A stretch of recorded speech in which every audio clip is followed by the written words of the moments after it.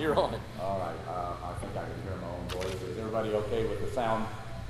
Uh, okay. Thank you, Ed, uh, Jerry, the- and all the people that put this thing together. It- What a privilege uh, to come out and, and talk to you a little bit. I have been told by all my friends to come to see this museum and come to see it, and you know how there's so many things that they're right around the corner, because I live in Virginia Beach. Uh, yeah, I'll, I'll do that next week, uh, as soon as, and something else happens, and I, I've been gonna come for two and a half years. Uh, several people who told me I needed to come are out here right now, but next week has finally arrived for me, and it, it's just a privilege to be here and, and an honor to, uh, to talk to you. I want to uh, go back a little bit uh, before I get into the real story you came, or you want me to say, I guess. Uh, in October of this past year, I went to my third reunion of the group of aviators that uh, flew with me off the Intrepid in 1966. Uh, we had our first reunion about early 2002 or 3 or something like that, and every three years I've had one since. And it's, it's like, it's an incredible bonding that, that we had with that group. Uh, it was just a unique, uh, unique group. But uh, having just been to that and experienced it, last night, one of the guys that I met in October told me he was a Duke fan, and so my wife and I, and he had season tickets. Well, last night I flew, I drove back to Raleigh, and we went to watch Duke beat Wake Forest, uh, courtesy of his season tickets. So anyway, the point of all of that is, when I come in here and I looked out and talked to a bunch of you already, I'm, I'm looking so many people I already know. Many of you I've met here today that I knew or crossed paths with back in the Navy 40 some years ago. So this is, I had no idea this was going to feel like a reunion for me, but it, it really kind of does. Um, but let me also preface my remarks with the following. Um, all the pilots I've ever known and respected, no matter what they ever did or happened, we love to tell sea stories, but braggadocio doesn't go. So I, I, I've, I've always, you know, tried to tell this unique story that I was involved in in sort of an all shucks way, but recently in the last 10 years I've had several opportunities to talk to a group about it, and I realized that's not really what they want to hear. I, I want to tell an accurate story that I think is interesting, but I want to tell it in a way that is, uh, is right and interesting. And the only way I can do that and not feel like I'm out of place is it's about a guy I used to know. It's not me anymore. But the guy I used to know had some very uh, unusual circumstances that I think brought me to this unusual situation that, that happened.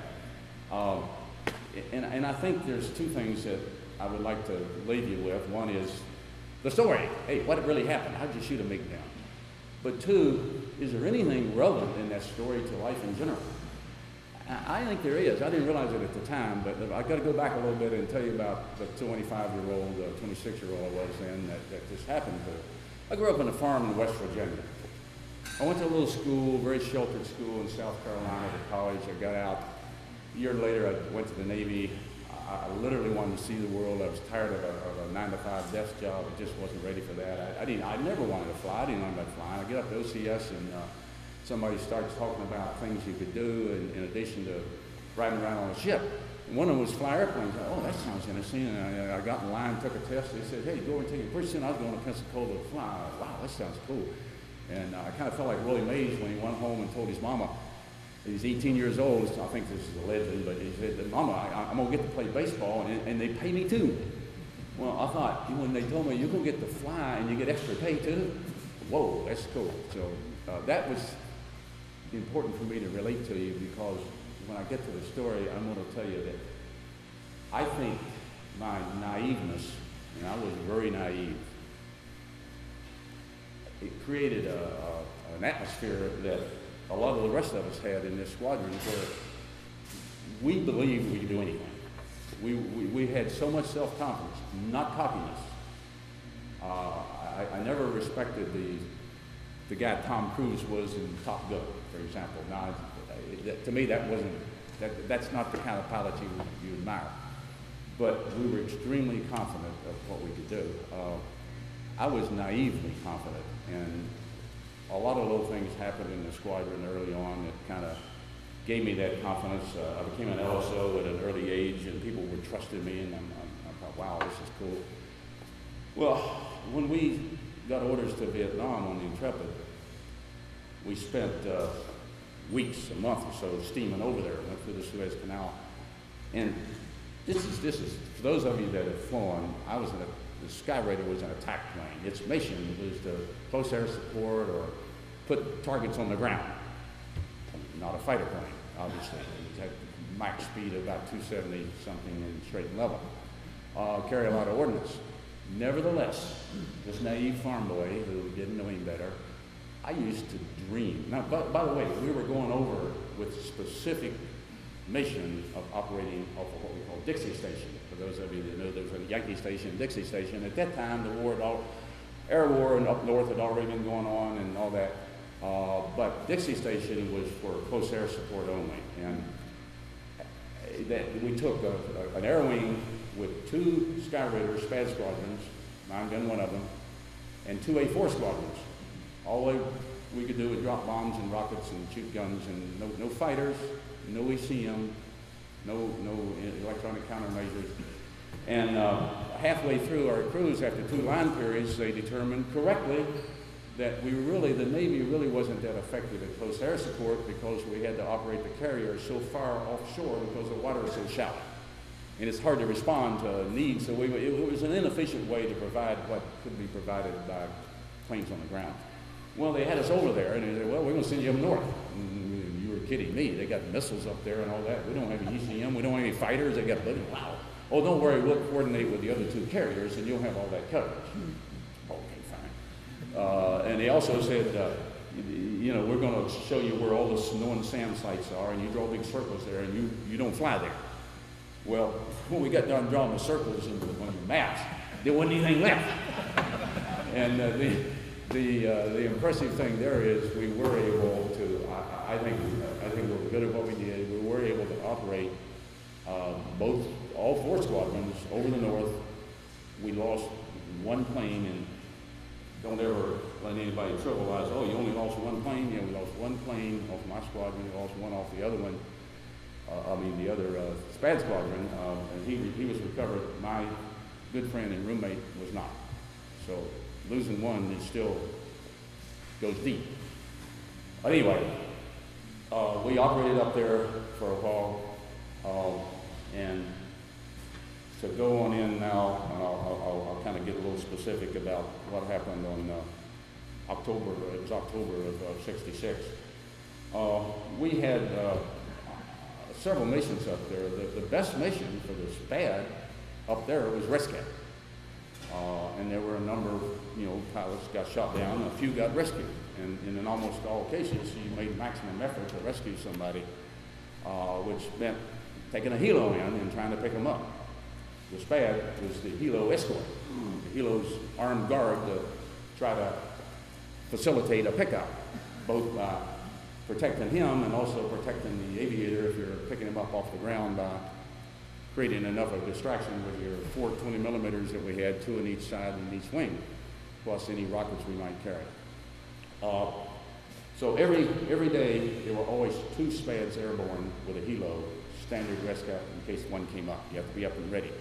But on this particular day, there was a uh, three carrier coordinated strike that was going to go in in waves. And I don't remember the target, but it was somewhere, obviously a big target. And I think there were like 60 planes going to be involved. And because of the high number, uh, the strike, uh, the high number of planes and the, and the tough targets that were going after, the odds were that somebody's going to get shot down. It's a good chance.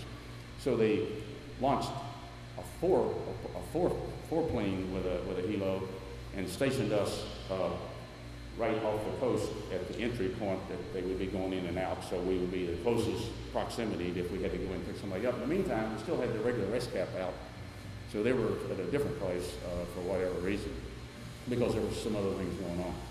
Well, this was a double cycle for us, and a, a carrier cycle is typically an hour and a half. You launch an hour and a half later, there's another cycle, an hour and a half later. So the SPAD was well known for ability to fly for many long hours. I was fortunate we never did that very often. We normally cycled with the same cycle the jets were on. I didn't develop a what you normally develop from flying on a hard seat for too long. But we had a three hour that day, uh, double cycle. And we orbited with this helo. You know, when you've done this for two hours and a half, it gets really, really boring. And, and when, the, when the last wave was coming back out, no one had bit the dust yet. Uh, uh, and, and everything looked good. And, you know, you're looking at your watch, and in about five minutes, you're going to be heading back to the carrier and another boring hop. And all of a sudden, we got this call, and uh, a guy named Leo Cook was my flight leader. Uh, and I'll talk about these guys, so I'll introduce him. Leo was a commander, ops, uh, the ops officer, great, great, great guy. He was a flight leader. His wingman was a, the junior guy, Jim Wiley Buzz, and I was number four flying wing for a section leader named Pete Russell. Pete and I were paired up as a team three-fourths of the time. We just were a team. Unfortunately, all three of these guys are dead today, which I, I miss them a lot. Uh, Pete got shot down later uh, on another uh, deployment that he volunteered for in something called an OV-10. Leo died of natural causes not long ago, and Jim died this past May. We, we were trying to get a reunion for him, but I'll, I'll talk about them in a minute because they all had big roles to play in what happened. So somebody called uh, uh, that a, a chute was seen coming out of a Phantom, and if you know about a Phantom, it was a jet fighter there that carried two people we only had one chute, so presumably uh, we don't know what was the power of the our, our, don't know. We just knew there was a chute. And it was, the location was somewhere about 25 miles southwest of Hanoi. That's all we heard. Leo immediately asked the helo, could you get there and back? You have enough fuel. About 20, 30 seconds later, he came back with the answer, I, I can with 10 minutes to spare with no reserve. In other words, you you, you, if you take more than 10 minutes to, to effect a pickup, probably won't make it all the way back. Given that, and given the fact that we didn't know if the guy was alive and made contact, we, whether his feet were even on the ground, I guess they were by then. But we just knew there was a shoot. And, and I'm going to bring this up because if you think about it, to endanger the lives of a whole uh, helo crew, four SPADs, uh, under circumstances that are going to be highly problematic. You got to wonder in, in, in, a rational world, was that smart? I, I, can promise you that Leo made the same decision that Pud and I and, uh, and, and Pete would have made. But it was his decision. We'll go. And, and because you didn't assess odds, if you were going to be one of the ones that was shot down, the success is going to depend on whether you get there in five minutes, not seven, or seven, not nine. So we, we headed in. And the prearranged plan for that type of thing would be Leo and Pud, the, the, flight leader, would go on hit. If they could bore on in there quickly and try to find the, the guy on the ground. We would come with the helo, and he's doing 110 knots or maybe, and we would escort him by S-turning back and forth to stay with him. Pete, my section leader, would go in front, the helo behind, and me behind him, Pete's role is to navigate. Well, knowing the fuel situation, we didn't have the luxury of navigating around any AAA or SAMs or anything else. We got to go as direct as we can. Uh, in the meantime, we were had been orbiting down about 3,500 feet or something like that because we don't want to be in the way of anybody coming out. But we don't want to go in at 3,500 feet. Normal for the helo, we got to take him in above 10,000 because AAA gets to be a lot less effective there. And so we climbed up and now we're going in. The first thing that happened that was uh, pretty exciting is I'm back here, stepped up on the helo, and I'm just turning. And as soon as his nose and my nose crossed the coast, something happened that I hadn't seen before and haven't seen since. But if you've seen World War II movies of the flak in Germany and stuff like that, uh, where you see poofs and brown grace puffs, we encountered a flak barrage that didn't have any tracers, which means they're set to go off up here, that the visibility went down to like, you know, if you were talking about IFR conditions, it was just everywhere, above us, below us, and everything. And it, it was like, got real cottonmouth, you know, like there's a helo in front of me, but I can't even see him. And, uh, but I don't, all of a sudden I uh, looked up and he looked like he was coming towards me. And I've never had the pleasure of meeting him because he was off another carrier, and I'd love to look him up someday. I just real quickly green one, come, come right, come right, come back to the west. And then I kind of realized, I don't know if he was disoriented or had decided he couldn't get through. I don't know. I, I have no idea. I would, we, we had so much respect for the helos because you may think what we're doing is a little bit dangerous. How would you like to fly at 110 knots over to 25 miles southwest of Hanoi and try to figure guy up? I mean, this guy had done it before and he did it since, and the whole crew. So anyway, he did though. He, he turned right and came back. He, he, he obeyed me for whatever reason. And, uh, and then I thought, you better do something besides give orders. Uh, look, you know, you got, we, we had four guns, but I had kind of forgotten this until recently. And I, in one of my reunions, I'm talking to my gunner officer who was a warrant officer who was in charge of the gunnery department. He had come over to me that day and said, you got a hydraulic leak in one of your guns, but I've wired it out. He said, okay, will you take the plane? And he knew I'd take anything fly. I said, sure. So I had three guns instead of four. But I thought, oh my God, I flipped on two of them, and I roll over, and I, I, I know, what am I going to do? I mean, this gun didn't go hard. So I go down, and I, there's no tracers. You don't see any fire on the ground. You just got the ground. And I started rattling off a few rounds. Uh, I think I made two runs. Honestly, I don't even remember that for sure, but I zoomed back up, back down again.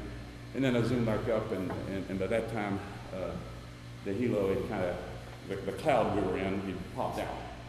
And uh, I, I, guess the only thing I might have done there is helped his morale out a little bit. He saw I was doing something, but it, there was nothing I could do.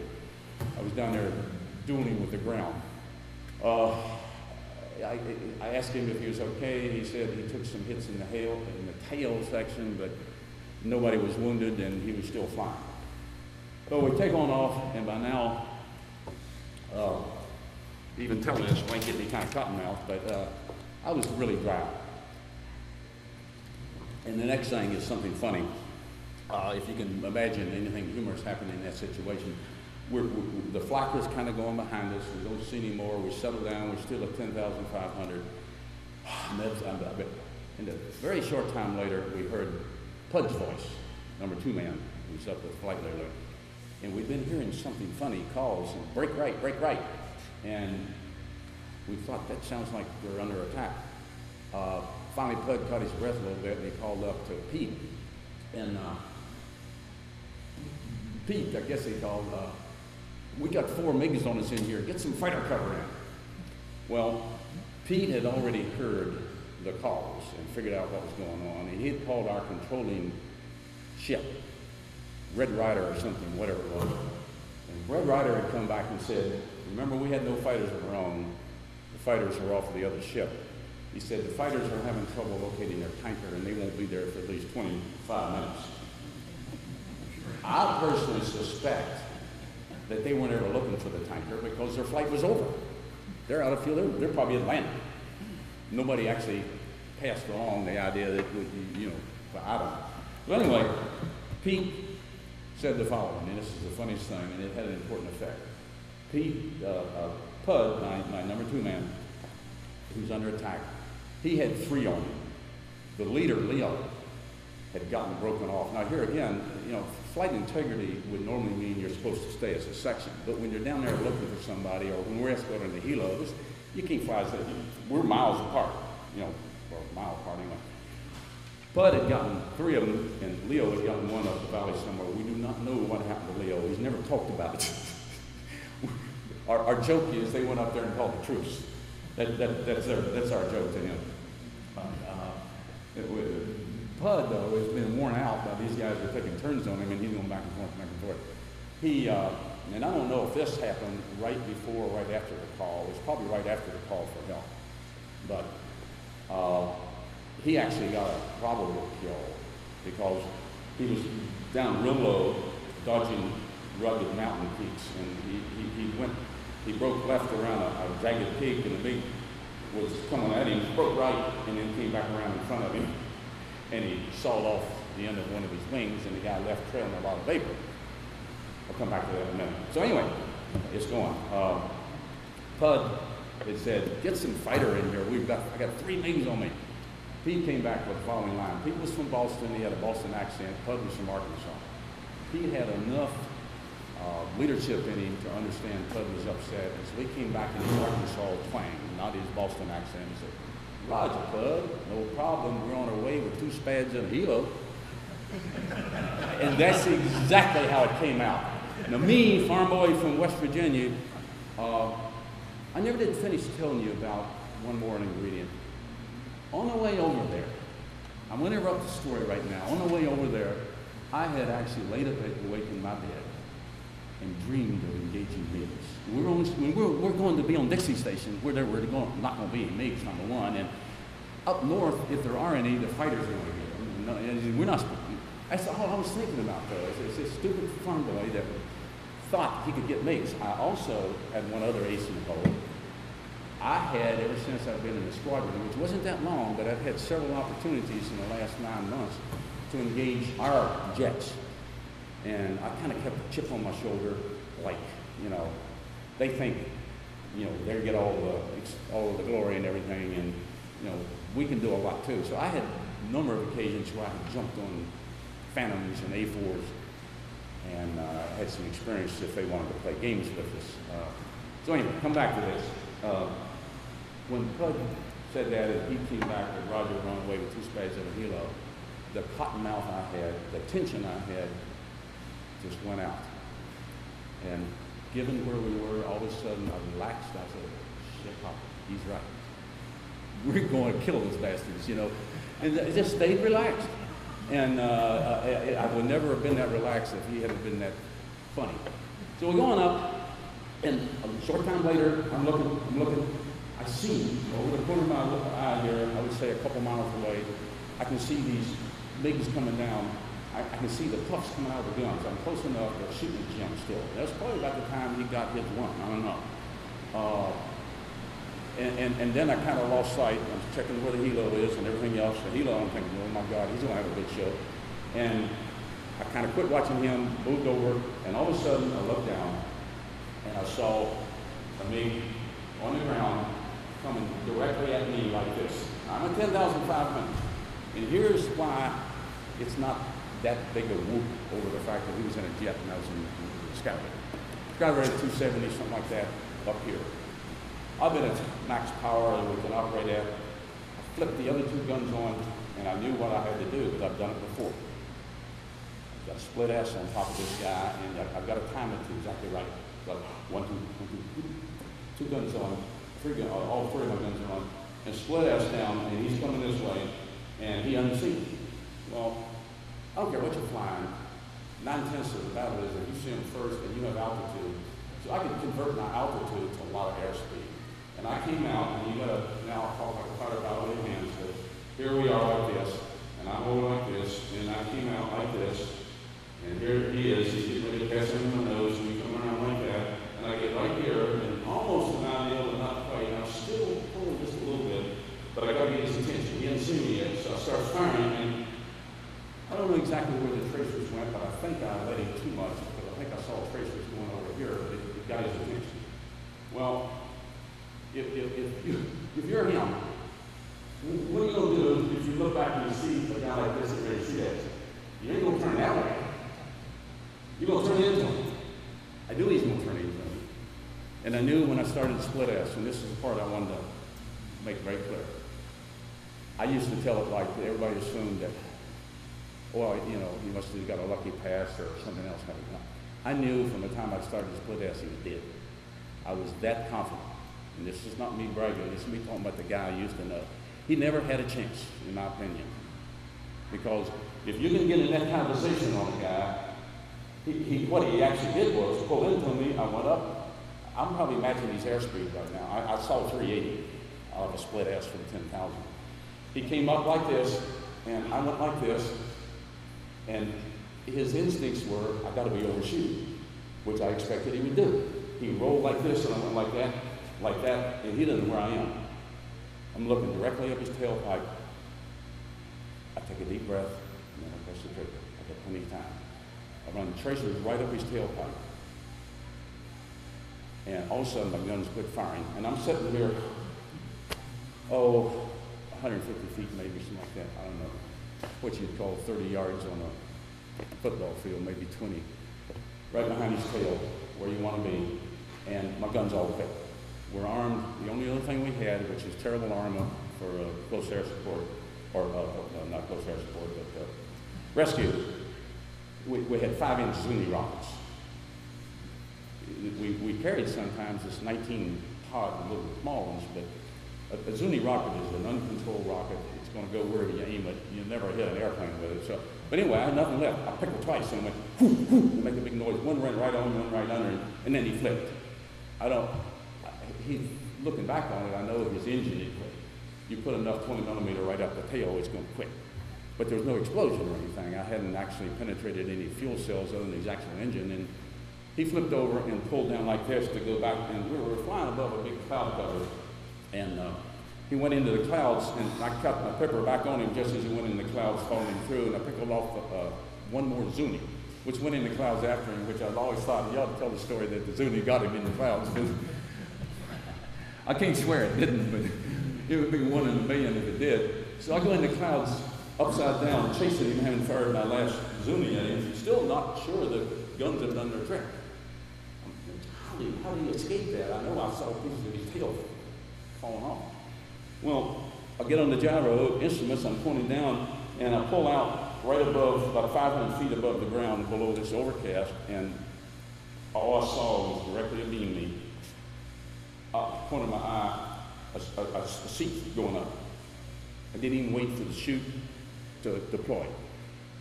Uh, it, it, there's probably somewhere out there some fighter pilots in the, in, in the uh, audience, and if, uh, if I took the time to ask them, when are you the most vulnerable? It's right after you have gotten a kill. Because he's got a wingman somewhere that's probably on your tail. So as soon as I saw that chute, I went into a 90 degree bank and started pulling hard, and I was actually hoping there was no one back there. But uh, I said, Pud, you, I got one, you got any more?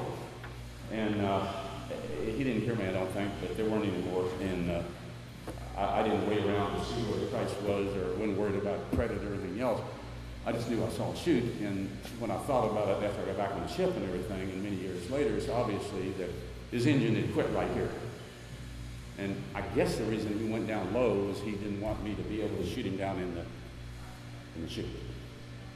Nobody ever talked about what that protocol is all about. But I can tell you, the only thing I would have ever done is dip my wing to him, and I suspect most pilots would have done the same thing. I don't know. I went about this. He's low priority now. I, I, went out to kill pilots. I was out to kill planes, uh, in my dreams anyway, and I did. Uh, and what, a, what an incredible opportunity that was. But the rest of the story is worth hearing, because I don't think at that point even though I sound really confident today about the ability I had, I, I think I had given the situation. Now, if I was down low and he was up high, I wouldn't be so confident.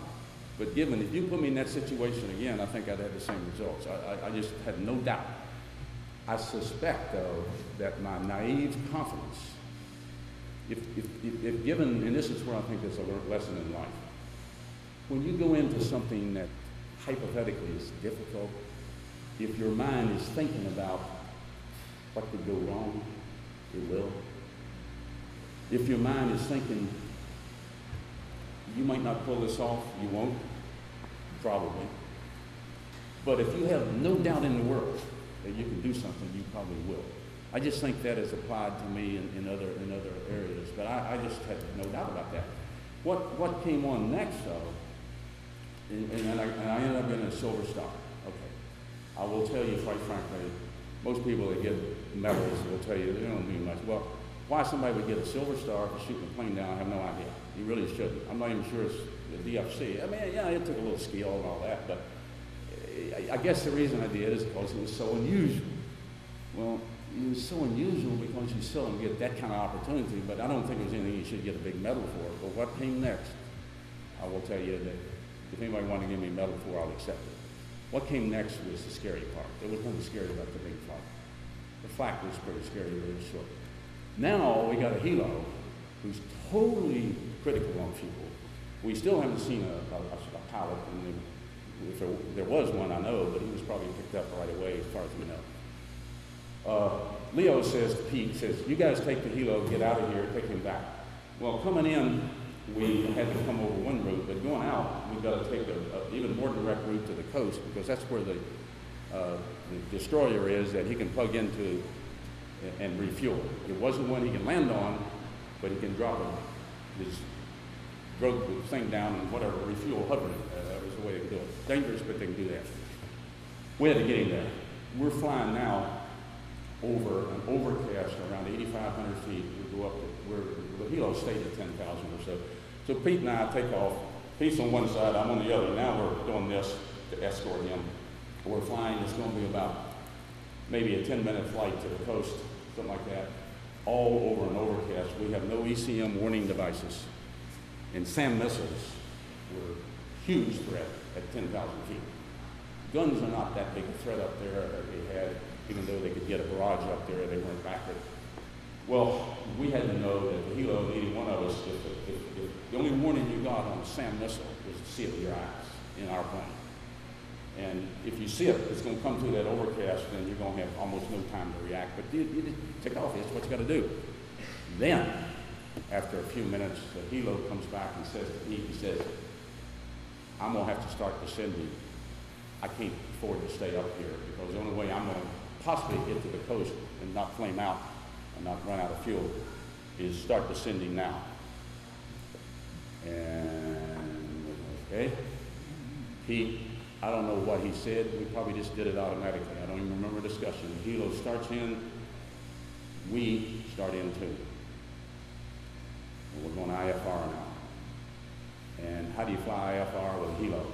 You turn 30 degrees away, you count, and I don't remember exactly, you count 15 seconds or whatever, and then you resume your course, and then you keep alternating and resuming, alternating and resuming one time. Oh, well, you don't alternate to the same side every time, you go back and forth theoretically it works. It was the longest three or four minutes of my life because you're in the IFR, totally in a cloud from 8,000 down to about 1,500 or 1,200 when we broke out, coming down very slowly to keep going forward, and the helos maintaining his 100 knots forward speed. Where's, we can't see him, we can't see each other, and we sure as hell can't see any guns or missiles. And none came up. Well, the reason they didn't, when you think about it, there'd been this major strike which I, of course, had no guarantee that, well, I didn't, at the time, I couldn't figure out why we're not dead already. Uh, but apparently they had fired out all of the missiles they had at the previous strike and they hadn't reloaded. Thank God. Uh, so three or four minutes later, I don't know, I can't you for sure, something like that. We broke out. I looked down, and all of a sudden I started, I said, waves, and there's the beach, and, and, and we're down about 1,200 feet. The helo is right there, and we're right here. God gave us a lot of luck and the naive approach to do something that should be almost impossible because we just did it did it precisely according to the clock and it worked. Uh, but I, I, I, look back on it and that was the scariest thing I've ever done. Craziest thing I've ever done, but it was the right thing. You might say, well, why don't you just stay up here? Ah, our mission was to protect the helo. She don't want to go back and get on the ship and say, you, you shot a MiG down, but you didn't do anything else. In, in fact, there's been people that shot MiGs down over there because they left their position to chase them down. There is a name that I can mention that is controversial. Well, I'm not going to mention it. controversial for other reasons that did that. And a lot of his fighter pilot friends kind of now you may have a little jealousy there, but you, you know, if your mission is to protect the helo, it was okay that I took a little time out to mess with the MiG, I guess, uh, you know, technically, because he could, he could have done damage to a helo, that's for sure. But we, we had to do what we had to do, and uh, I uh, was asked by Ed if I could talk for about 45 minutes, and I told him I can talk for four or five hours if you want. And you all have been very uh, very kind. I haven't seen anybody sleep yet, but I would like to let anybody ask a question if they have a couple of something. To do my Phil Donahue imitation. Question?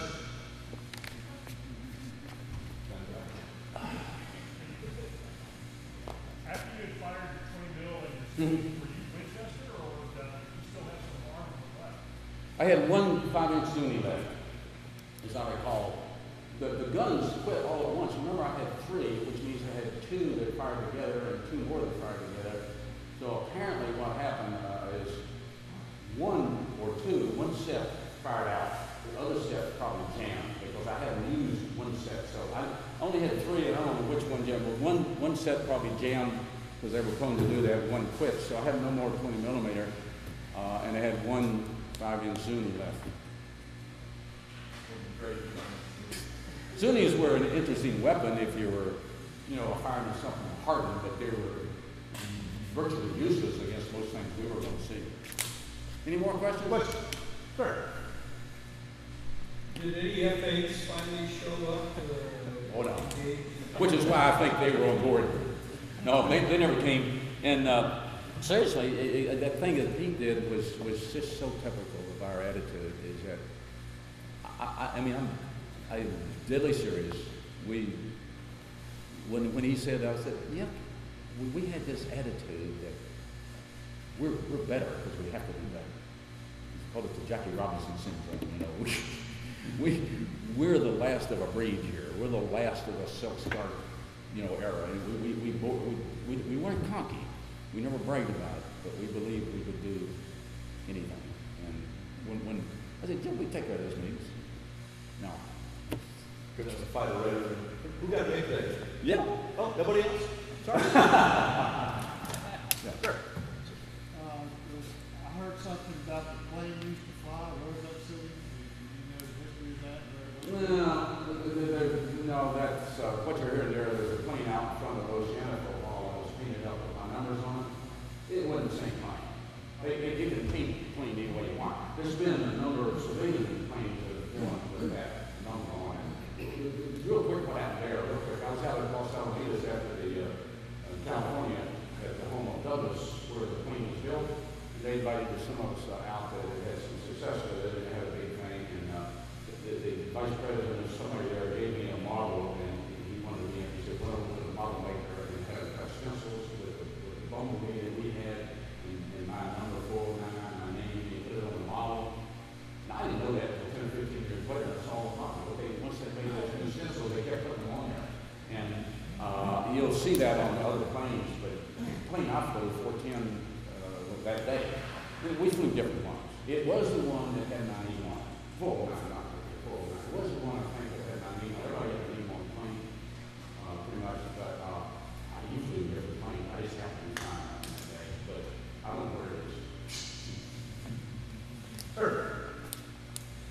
Tom, uh, what was the rest of your career like? Uh, Flight career, did you transition to jet? Oh, uh, yeah, I, actually afterwards, uh, we had another cruise to the Med, which, uh, made on Saratoga with this pad. And then I got orders and I, I, I could have gotten out, but I decided to stay and accept the orders and went to Greenville and instructed for two years. And gentleman here is one of the uh, docents, uh, uh, Rob. Where's Rob? Yeah, Rob back there actually got his wings about this time I joined the squadron as an instructor and, uh, remember the meeting. Uh, instructed for two years in the F9, which I, was a lot of fun flying.